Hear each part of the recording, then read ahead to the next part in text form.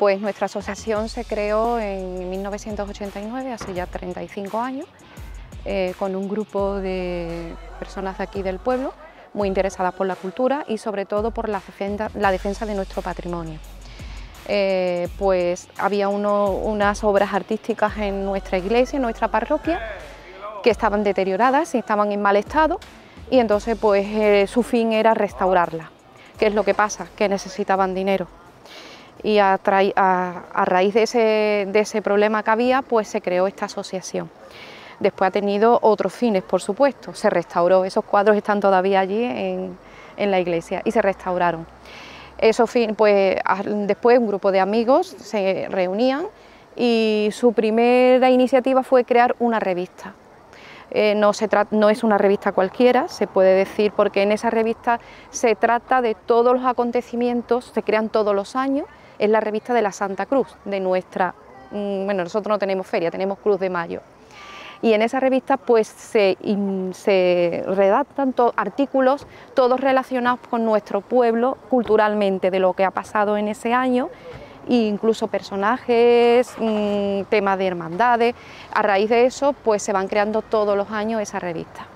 Tuvo un lazo eh, la asociación y en el 2015 la retomamos bueno, yo en concreto la retomé un poquito más tarde, la retomó otro grupo de personas y seguimos dándole hincapié que es nuestra, es nuestra, es la principal, pero no obstante hacemos muchísimas cosas más, porque tenemos un grupo de unos 160 socios.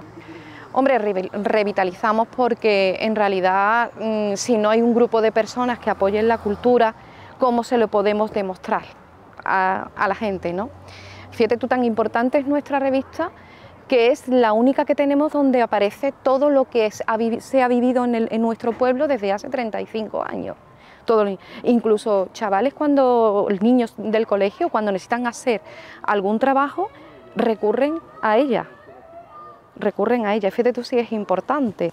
Y todavía la hacemos en papel físico. E incluso la portada nuestra, la portada, pues hubo un año que la hizo Juan Roldán, que es un pintor de gran estima no solamente en nuestro pueblo, sino a nivel mm, de España.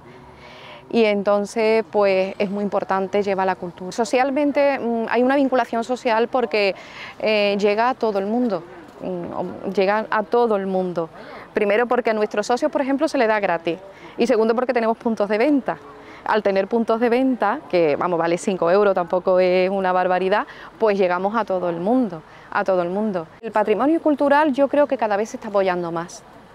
Eh, yo recuerdo antes que tú no le dabas importancia a ciertas cosas y sin embargo ahora tú lo ves como cultura, como, como algo histórico y cada vez le das más importancia. Yo creo que se está fomentando más nuestro patrimonio cultural.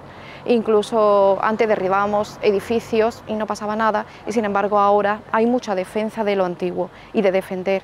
Por ejemplo, las minas nuestras naturales que están debajo del subsuelo, pues están intentando llevarlas hacia adelante, o sea, para que tengamos constancia. Eso a lo mejor estaba abandonado.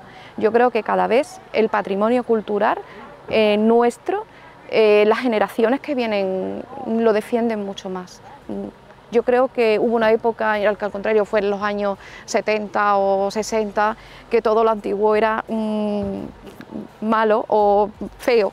Y sin embargo ahora valoramos más la antigüedad o el patrimonio cultural nuestro. Yo creo que sí que todas las generaciones la van defendiendo.